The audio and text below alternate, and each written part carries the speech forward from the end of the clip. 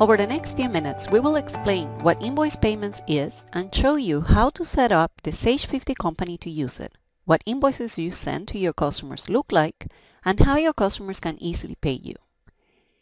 With the invoice payments feature, you can get paid faster by accepting online payments from your customers via secure payment providers, Stripe or PayPal. After a quick setup, your customers will see a Pay Now button in the invoices you email to them. This makes it convenient and easy for them to quickly pay their invoices. Please note that this is an entitled service, available only for customers with an active service plan and a supported version for Sage 50. Let's see how to set up the company to accept invoice payments. First, we open the receivables settings and go to invoice payments. Click Set up payment service. Enter and confirm the email address. Click Sign Up. Complete the security check by clicking the CAPTCHA box and clicking Finish. Select the provider.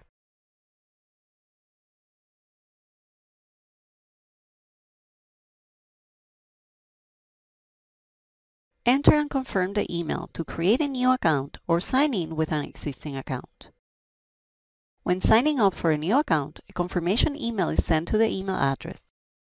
You need to complete the account setup from the link included in the email within 7 days of receiving the first payment. If you don't complete the setup in this time, the payment will be refunded to your customer. Select the accounts to keep track of the money you collected from online payments and of the fees related to online payments.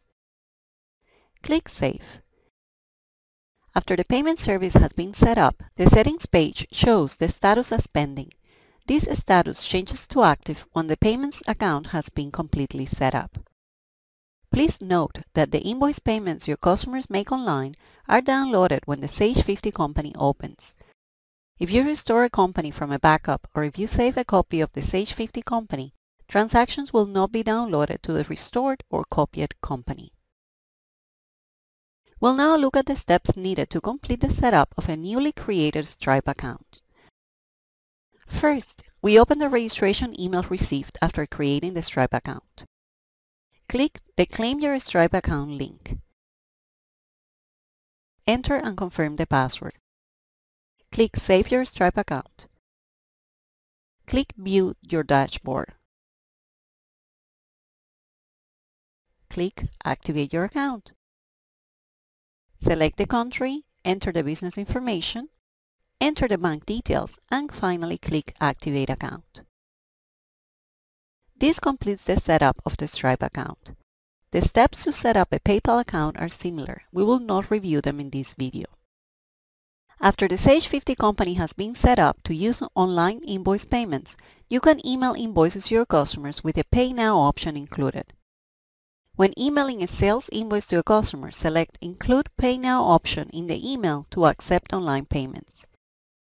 If you select this option when the company has not been set up for online invoice payments, you can set it up here. Please note that this feature is only available for invoices in Canadian dollars. If a customer has been set up to use a different currency, the option to pay the invoice online is not available when emailing an invoice to the customer. When the customer receives the invoice by email, they can easily pay it in full from the body of the email or from the invoice itself. After clicking one of the two options, your customers can enter their name, phone number, credit card information, and submit the payment. The next time you open the Sage 50 company, the customer payments are downloaded. At this point, a receipt is created for each downloaded payment, and the sales invoices show as paid. If an invoice that was already paid is adjusted and the amount is increased, when you email the adjusted invoice to the customer, the option to pay for the invoice is only for the difference. For example, if the original invoice amount was $1,000 and you adjusted it to $1,500 after it was paid online, when you resend it to the customer after adjusting it, the customer will see the option to pay $500. If an invoice that was already paid is adjusted and the amount is decreased, a credit to the customer's account will be posted within Sage 50, and no refund is processed to the customer through the online payment service. Also, if a customer receives an invoice by email with the option to pay it, and then the invoice is adjusted and a second email is sent to the customer, when the customer tries to pay the invoice from the original email, they get an error message when paying. The message says, Sorry, we were unable to process your request. Please try again.